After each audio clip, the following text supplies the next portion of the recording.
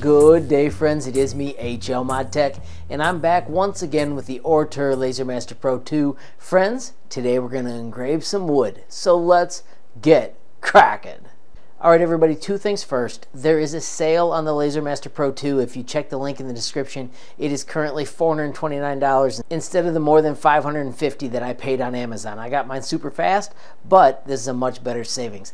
Secondly, everybody, yesterday the University of Michigan smacked down Ohio State in football. It was pretty awesome. So now, friends, I'm going to commemorate that on this piece of wood.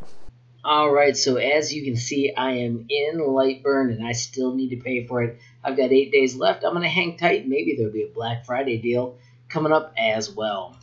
When I hit OK, I need to find the part that I'm going to play with. So I'm going to once again go to Import and then I create a design called U of M1 and U of M2. So I'm going to bring it in. That one looks like a cool football shape. That's reasonable. Uh, I'm going to bring in the second one and see if I like it better now that I'm thinking about it. And this one is U of M2. So this one is a much more crisp design. I'm going to use this one though because I think it's going to look sweet when I engrave it. So I'm going to hit delete. And I know that my little block of wood over there is about 8 centimeters around. So I'm going to hold down Alt, and that way it scales all at the same amount. And I'm going to get it down to a size that I think it'll fit. Now, one of the nice things about Lightburn is I can build anywhere in the work area. I'm going to set mine here in the middle, and then when I connect the laser, I'm going to just use I'm going to use the job origin from current position and the bottom left corner by setting these. Alright friends, so first I'm going to raise this up because I know just how much taller that piece of material is. And now let's home it over with the move. Once again, if you hold down shift, it'll go twice as far. Notice mine's not moving again. That's because it's on COM 6 instead of COM 3. As soon as I do that, you'll hear it start squawking. And now let's move it over where it's supposed to be. Alright, so I'm doing shift move, so it goes 10 times the normal 10 millimeter move that I have it set at.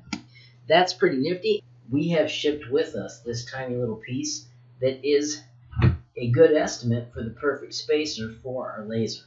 So I'm going to use that, pull it out. Uh, notice they said then you can adjust this. I was able to do that real quickly with it on there. And then friends, now I'm going to move to the bottom left corner of my design. Now don't forget I'm thinking for the middle of where the beam is. And then from this location, I want to hit frame, and I'm going to do the circle frame to see if it fits. So see how it went a little bit to the right? So I'm going to go one left, one down. And now I'm going to hit frame again, and let's see what it does. I think that's centered pretty cool. I'm going to go back now and let's set our cuts and layers.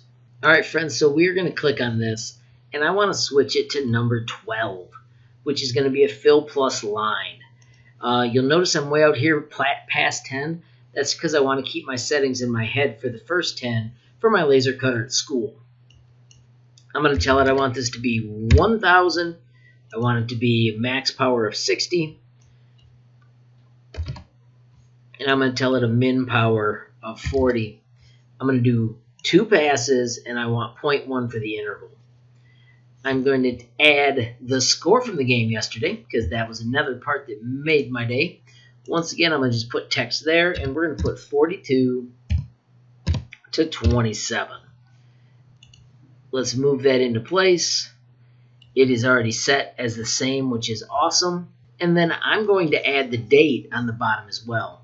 Now this time I'm going to do Control D, which means it's a duplicate. And then down here I can just double click and then I'll click on this text and click this number and let's delete those. And put 11 slash 27 slash 21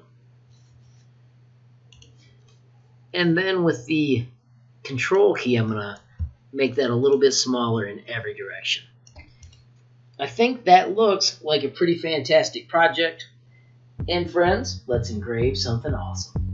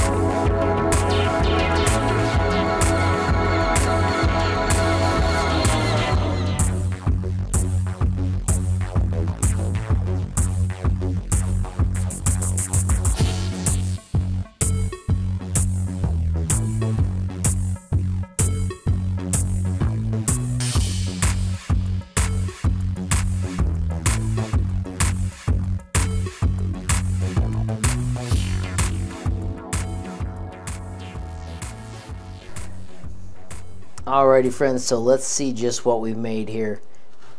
As you can tell, I did not quite center it up and down, but it does fit perfectly on the width of my shape of wood. If I would have had a real circle instead of this oval piece, I probably could have stuck the landing on that. So I'm loving how this turned out, but I am going to tell you these numbers were a guess. Uh, probably could have got by with just one pass instead of two passes. Did take me almost an hour and 27 minutes, but friends, I think that's a pretty decent commemoration of a pretty awesome day.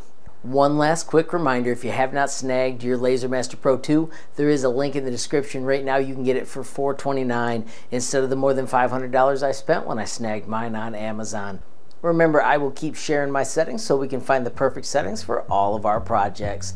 Friends, if you enjoyed the video, please give it a like. If you got a question, comment, or suggestion, add it down below. If you haven't subscribed yet, what are you waiting for? Smash that subscribe button. And last but not least, hit that notification bell if you want to be the first to know when there's a brand new video from me, HL Mod Tech.